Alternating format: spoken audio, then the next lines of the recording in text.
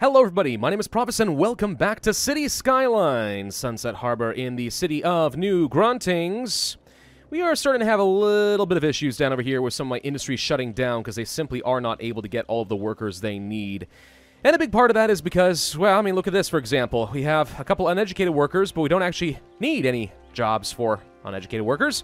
And then we have no highly educated or well-educated workers which are able to run this area. So I think at least temporarily I made a mistake in making this area into... Why does this look all messed up? What is this? What is this text? You seeing this? Weird. Anyway, um, I think I made a mistake turning on the Industry 4.0 this early on. I know it's having some trouble like getting people down here. I'm aware, but yeah, let's go ahead and turn that off so we use mostly uneducated workers, since about 42% of my workers are uneducated anyway. And as we educate, we will come back to that. And also, by the way, before I forget, let's just go ahead and toss in a fish market. I think we'll set it up in this uh, little um, self-sustaining area over here. I think they'll appreciate it. Yes, yes, I know. It causes noise and stuff, but it should increase the health of the region, so I think I think they'll learn to live with it. We'll place it down over... I guess we'll just place it down over here. Sure, why not? There we go. We have a fish market. Yay! Now we can sell fresh fish and other organic local produce. These guys will be super duper healthy. Congratulations. Hope you're happy with that. Okay, so the big thing that I want to work on today is setting up a campus. Now, let's see. I think that's under parks, technically. Uh, let's see. Nature Reserve, props, park maintenance, content creator packs. No, it's here somewhere. Give me a second. Ah, of course, it's under education. Right, that, that would make some sense, wouldn't it? Okay, so we can have either a trade school campus area or a liberal arts college campus area, and eventually move up to a university campus area, which of course we are not at that point yet. So it's going to be a while before I can build like the big honking university that I would want. But at the very minimum, there's no reason I don't think we can at least set up a trade school or something along those lines, right? And that should be useful for the Steinworks. Uh, and then eventually maybe we want to use the liberal arts so we can have more offices and such on this side of the river. That kind of thing could work. And then eventually set up a nice, really big area for a huge honkin' university. That's what I think we should do. So let's start off with the trade school since it looks like that is what we need the most. And I'm thinking... I hate to use up all this fertile land and stuff, but I think we may end up going ahead and placing it down over here. So what do we need for this? I've never built one of these before.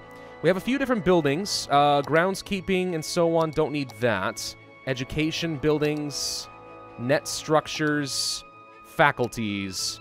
Well, we have access to this, but I don't see anything unlocked. Maybe you have to place down a road first, like a little trade school path. It's a paved pedestrian path that allows pedestrians to walk fast and easy where cars cannot go. That does not seem too helpful, but let's go ahead and place it. Did it unlock anything? No. Well, that's not very nice. What am I supposed to do with this if you're not actually going to give me access to all the buildings? Oi! Maybe it's a district thing. Paint campus area. Ah, yes. Okay, so this is the sort of thing that I would want. Cool, so we're going to go ahead and place it down over this direction. And I'll leave a little bit of space between this and the railroad because I'm going to place down some trees and kind of try to reduce the noise pollution a little bit.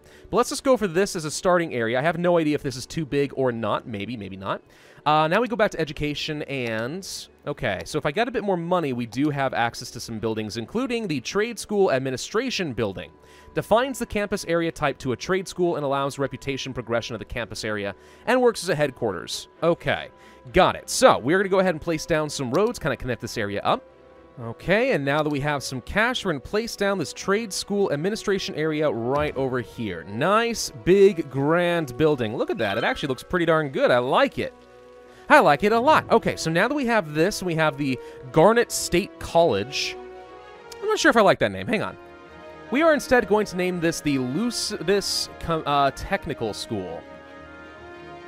If I could spell correctly, that would help. There we go. The Lucis Technical School is open for business. Okay, now that we have this, what else can I place down? Well, quite a few things. It looks like we have the Trade School Dormitory, which makes sense. We need to give some residential space. Also a study hall, also a book club. Okay.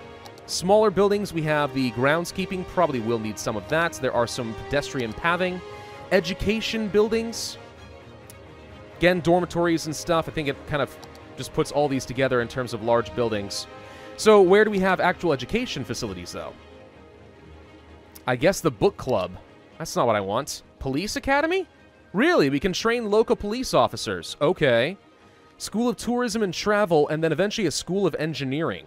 Engineering? You think that engineering counts as a trade school thing? I mean, maybe for like civil engineer, like technicians and stuff, which it looks like it does reduce city water consumption and sewage outlet and stuff. Okay, yes, I get that, but I will have you know that engineering is a very professional and prestigious degree. I worked very hard to get my BS of science and engineering, all right? Don't, don't, don't belittle me. There we go. Look, I added a little park to the Lucidus Technical School. I built this one from scratch. Doesn't it look nice? I don't know. I figure outside of the administrative building, you gotta have something that looks kind of good here. Alrighty, so let's go back to our education facilities. We need to get ourselves our first round of dormitories, I think, and one up over here should be fine. Out of curiosity, these can indeed connect just to the walking paths. Good to know. Um, I think to start us off, I want to have at least a couple of dormitories that are easily accessible via road. But going forward, a lot of our buildings should probably be accessible primarily from walking paths. So we'll have a couple of dormitories over here. Oops, we need to get a bit more water. That's fine. We can do that. Uh, we need to have a couple of dormitories accessible here just so we have some student population. We don't have any classes yet, but you don't need none of that nonsense. We just need to make sure you move in here and pay your tuition. So we'll get some of that going. The more buildings we have, the more attractive this school apparently is going to be. At the moment, it is an unrecognized school, but we'll get you there, Lucidus. We'll get you there. Tuition fees, only 160 bucks, but that's only because we have 36 students. It's getting better. The more campus attractiveness we have, the nicer this is going to be. Out of curiosity, does this already work with things like varsity sports, though? I think it might. Aquatic center, basketball arena, track and field uh, stadium? Cool. I have no need for these right now, and I don't usually think of trade school people as needing these either, but that is a thing that we can do. Ooh, there we go. Now we can place down a police academy. I like this. We're to have a nice big one right there with all these extra little roads and stuff to make it look interesting. It's probably extremely inefficient. As always, the grid pattern is king, but come on. You gotta admit, that's gonna look a lot better. We actually have a bit more campus attractiveness going on here, too. If I were to toss in, let's say, another dormitory or something like that, um, that would probably be enough to carry me to victory, I think. These guys don't quite snap to the same grid patterns as the others. They're intended to be a lot more free-floaty, I think. But anyway, okay, so there's that. That gets, yep, our campus attractiveness up to 200 out of 200. So if we can just get enough students together, I think we'll be fine. Now, what are academic works? Chance of academic works is 30%. If we spend some money, we can hire more academic staff, which greatly increases the chance of getting one of those. Okay. We can also give money towards some grants. Artisanry, hospitality, IT, and engineering. Really? Okay. Huh. Well, I think just having five staff for now is fine. We're not going to cost extra money, but I'm hoping we do get some academic works. There's also some special policies, I guess. So we have student health care, which is going to increase the cost per student. Then we have a free lunch. Then we have visiting scholars, which increases the faculty bonus, but increases the upkeep. And then, of course, some varsity sports and stuff. Fascinating. Huh, okay. I kind of like this. There we go. The fill pits have officially reached level 2, which means now we have access to the ore industry workers barracks, the steel plant, the glass manufacturing plant, the ore storage, and so on. Also some underground mines. Okay, so uh, let's take a quick look at some of those and see what we get. Uh, glass manufacturing is something that I kind of want, so I think we should go ahead and place one of these. Um, where to place it, though? Uh, do do do do do do do do. Still want to keep it relatively close to some storage. I guess we could place it down over here. Next to the prison? Sure, I mean, yeah, why not? the prisoners can go and work and make glass for all of us, I suppose. There's no way that could possibly go wrong. Alright, cool. So this area info, then, we should be now taking ores and producing both metals and glass. So we'll see what the output ends up looking like over time. But now we can do both. May actually need to get a little bit more extraction. I'm not sure. We'll come back to some of that.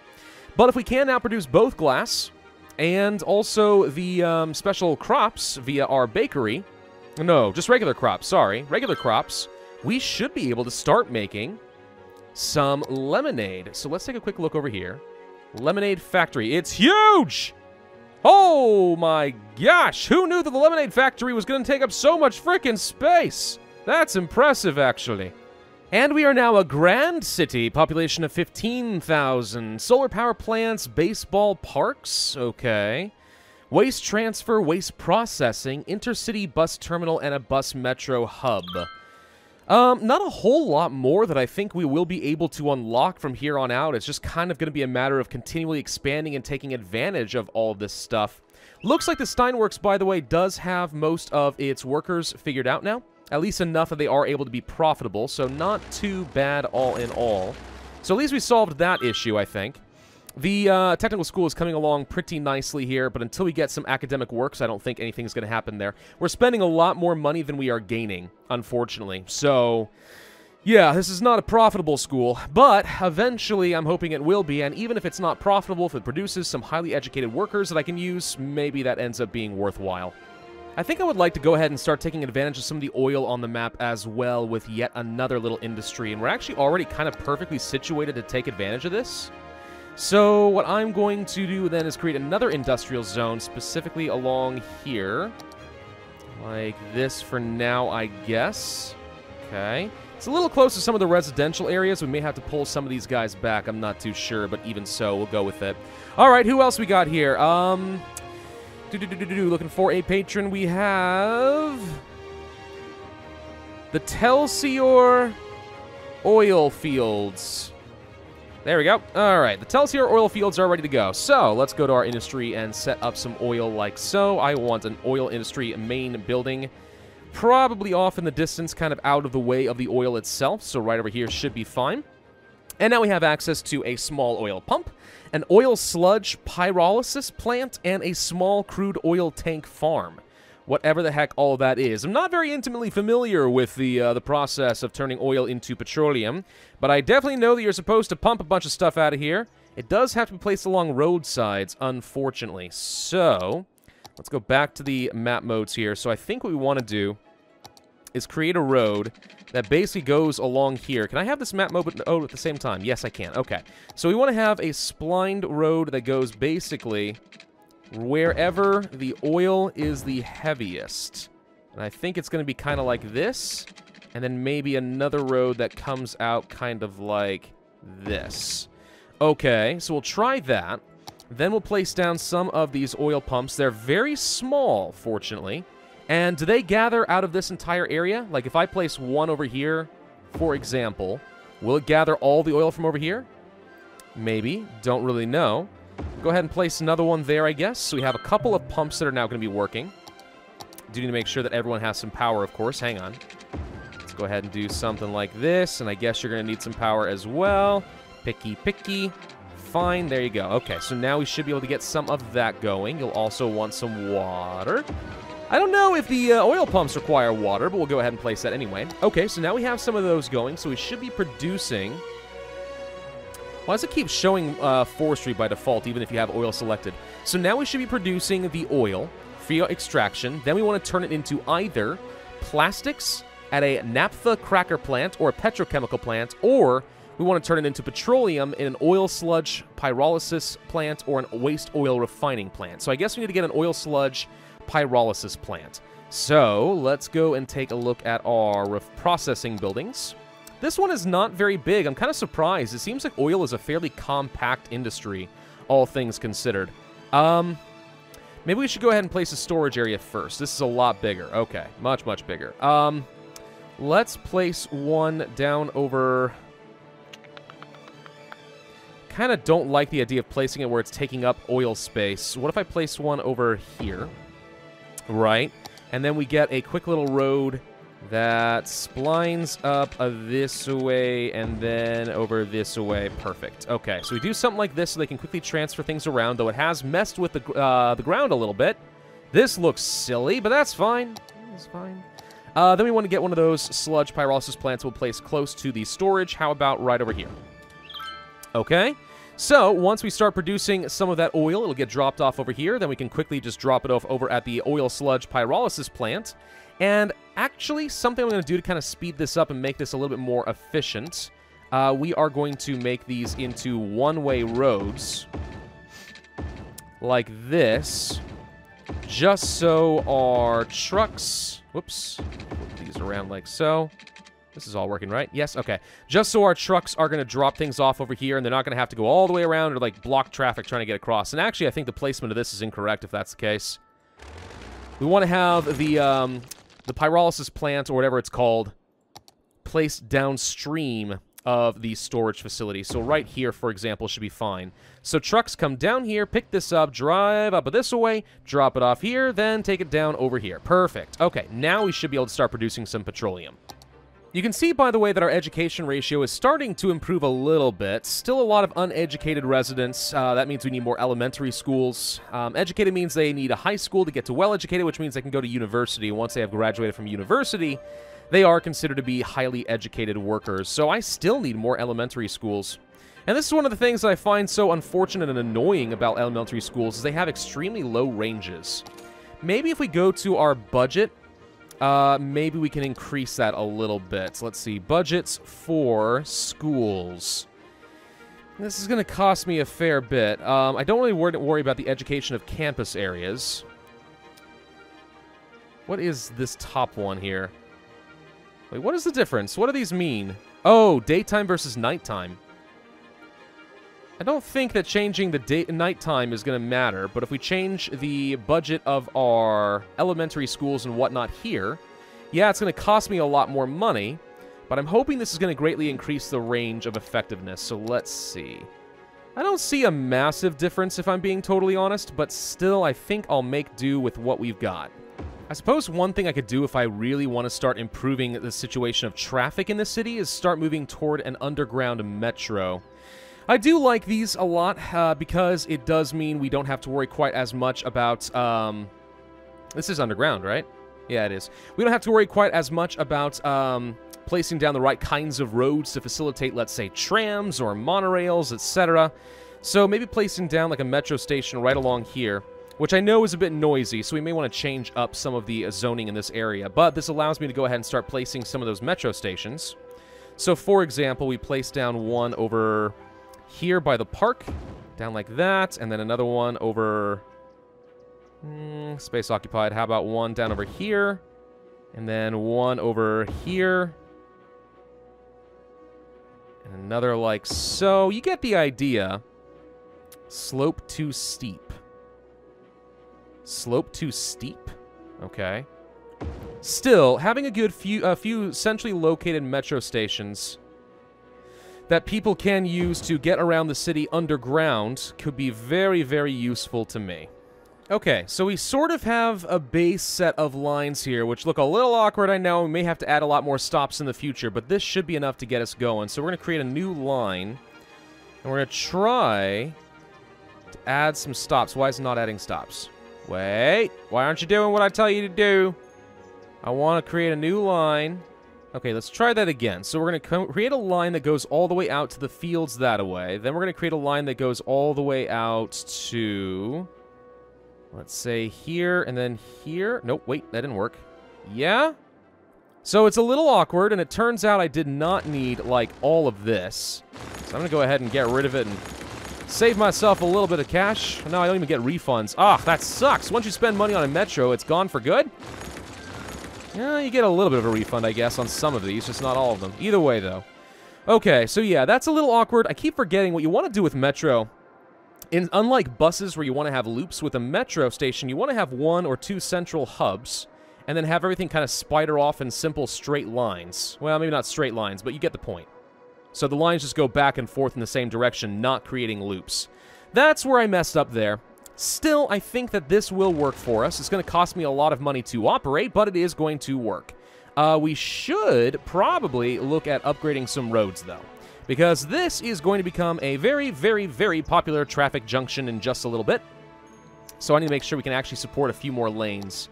Uh, and this is where I might actually want to upgrade you pretty substantially cannot upgrade you, unfortunately, because the space is occupied. So the only way this is going to work is for me to delete a bunch of roads. So this entire street is going bye-bye. Sorry. This is the thing that I find really annoying about upgrading all these roads, however. You can see that a lot of these stops and stuff have been broken. Some metro, some buses, etc. Every time you have to mess with the roads and upgrade them to longer lanes and stuff, ugh, it ruins everything. There we go. Okay, so the trams are a running. We have a couple of major avenues that are starting to be rebuilt with some higher density buildings, which, by the way, let's just point out that the Shadows is looking pretty darn nice over here, if I do say so myself. Gradually working in some more high-rise structures as we continue down into Alvin's Landing, but it's certainly getting its way around. But if we now take a look at some of the Metro and stuff, we should start seeing people using the Metro. Uh, where is it? Six per week? Ah, that's not true. It's going to go way up above that in a second. The bus lines are actually getting a fair bit of use. Why are you saying that the metro lines are not? There we go. Okay, it's starting to go up. Now to 51. I imagine this is going to end up being the bulk of our public transport in the future. People tend to like the metro. And understandably so. I do enjoy riding a good subway, as long as it's actually a good subway. There are good subways, and there are just filthy, disgusting subways. I've been on both. The nice ones, though, they're pretty cool. I like getting on those. Maybe as much as monorails. No, that's not true. I like monorails a heck of a lot better. And I would like to employ some monorails in like a nice, good loop around the high areas, the high density areas, like around here, for example. But that will have to wait for at least a little bit longer. Our landfills are completely filled up at the moment, but I'm surprised we haven't been getting any issues with our, um, We've not been seeing any issues with our garbage collection. No one's really complaining. So maybe we can actually go ahead and empty this building. And we'll start clearing out this uh, area. What's wrong now? Set to empty and therefore it is not working. No more room. Well, yeah, that's... Yeah, the whole point is that I'm emptying it out. That's, that's completely fine. What's wrong here, by the way? Small park is messed up. Okay, well, we could go ahead and fix this, I suppose. I wish you could just, like, move a building sometimes. Just like select the building and say, I want to relocate it here. And yeah, you have to pay a premium, but at least you can lose, like, you don't lose track of which buildings have been messed up as your uh, with your road placement. Even so, we can fix that. Hang on. There we go. That looks a lot better. Okay, doing fine. We have some more schools and stuff. How are we doing on our education? Uh, 33% uneducated still, but we are starting to see that highly educated number going up, which is good. One thing I don't understand is why this is all turning red here. There's an elementary school literally next to you. You can't tell me that you don't have access. There's more than enough capacity. Like, seriously, if anything, I have grossly overdone it on the schools. Wait, what's this? Oh, speaking of which, there's an extra elementary school we don't need here. Let's just go ahead and get rid of that. But there's plenty of access, plenty of capacity, so I'm not too sure what's going on here. I need to double check and make sure I understand why this is happening.